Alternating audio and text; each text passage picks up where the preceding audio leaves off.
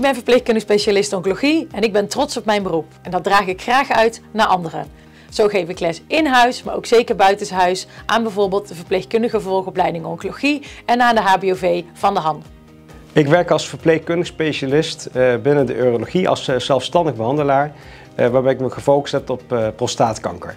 Ik zie mezelf ook als, echt als zelfstandig behandelaar naast de urologen, waarbij sommige patiënten ook niet eens een uroloog zien in het hele traject.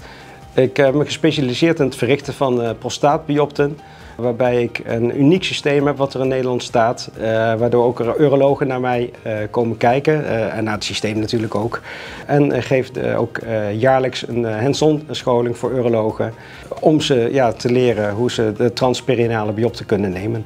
Als verpleegkundig specialist palliatieve zorg word ik bij verschillende afdelingen in consult gevraagd bij patiënten met een palliatieve zorgvraag.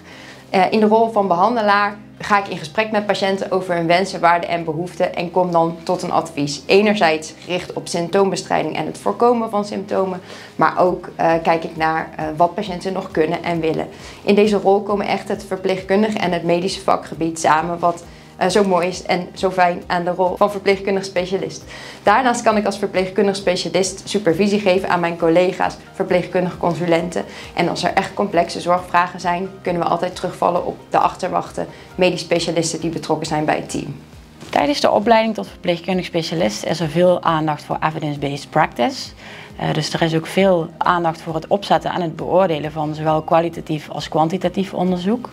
Uh, onlangs heb ik mijn literatuuronderzoek afgerond. Het onderwerp van mijn literatuurstudie was het effect onderzoeken van kracht- en conditietraining op vermoeidheid bij bestraalde borstkankerpatiënten. En in het tweede jaar, dat tevens het laatste jaar is van de opleiding, doet iedereen een afstudeeronderzoek waarvan je zelf het onderwerp mag bepalen. Met ons team van de oncologische dagbehandeling zijn we de afgelopen maanden druk geweest om het proces te optimaliseren uh, van communicatiemiddelen en het logistieke proces wat een patiënt doorloopt bij start van de oncologische behandeling. Zo zijn we gestart met het implementeren van een app waarbij we bijwerkingen van de behandeling op afstand monitoren. En komende maanden gaan we aan de slag uh, met het implementeren van een communicatie-app waarbij we alle informatie gaan digitaliseren en gefaseerd kunnen aanbieden aan de patiënt.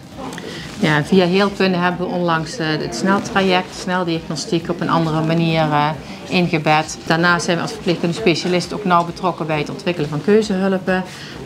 dus met de ontwikkeling, maar ook gebruiken we ze natuurlijk tijdens ons spreekuur als de patiënt op de poli komt om niet te vergeten werken we samen in een multidisciplinair team. Dus niet alleen wij verpleegkundige specialisten, maar een heel groot team die zorgt voor de optimalisatie van de zo goed mogelijke zorg. En uh, dat maakt het vak denk ik heel erg boeiend en heel erg mooi. Het mooiste vak wat er is. Ik ben er trots op dat ik vanuit mijn functie als verpleegkundig specialist uh, steeds vaker mee aan tafel mag en niet alleen maar op het menu sta.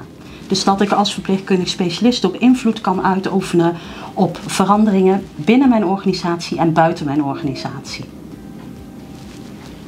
En ik ben er trots op dat ik naast mijn rol als verpleegkundig specialist ook een rol als verpleegkundig themaleider voor de oncologie en palliatieve zorg in het CWZ mag vervullen. Uh, waarbij ik het dus belangrijk vind ook om aan te geven dat verpleegkundig leiderschap voor mij een, vooral niet alleen hiërarchisch leiderschap is, maar vooral samenwerking uh, met elkaar. Dus samenwerken met en rondom de patiënten en naasten.